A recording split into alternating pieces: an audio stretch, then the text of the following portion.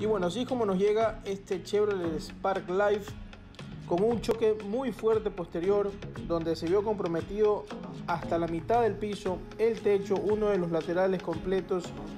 Y bueno, aquí tiene el proceso de reparación y realmente salió como nuevo otra vez a las calles. Ya sabes, no te olvides visitar nuestros JM Motors.